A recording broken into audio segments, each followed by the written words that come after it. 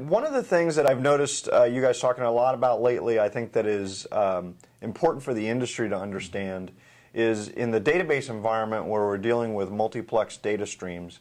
In the you know for many other traditional vendors, the the you have two options basically either don't deduplicate them or don't multiplex, and both of course obviously have some uh, pretty big negatives. Uh, you guys are one of the few that claim to do both, right? Mm-hmm. What, what, how are you guys doing that, and, and kind of describe the problem and, and how you guys are yeah. doing that? So, the, so the problem is databases just get bigger and bigger and bigger, right? The backup window doesn't get bigger, right? so how do you how do you slice and dice that problem? Well, you deploy uh, the feature of advanced backup applications, which is multi-stream backup. So you write the backup to multiple virtual devices. Mm -hmm.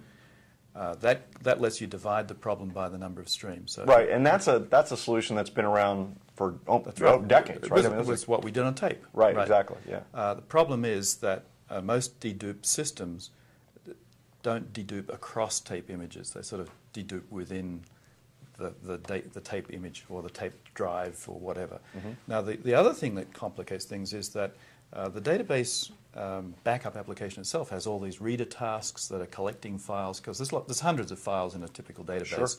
Sure. Um, and then they have to decide which stream to write them to. And a lot of dedupe systems require that you always write the files in the same order to the same stream. But if a file's locked because the database is modifying it at the moment, that delays backup.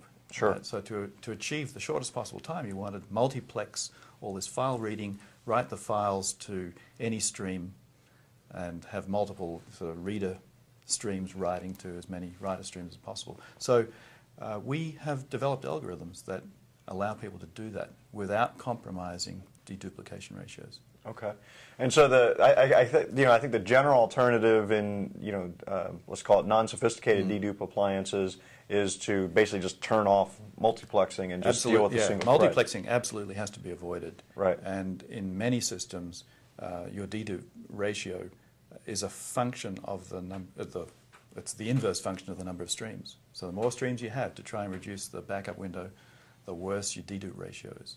Okay. So we give you a no compromise solution. Fastest possible backup with no effect on dedupe ratios.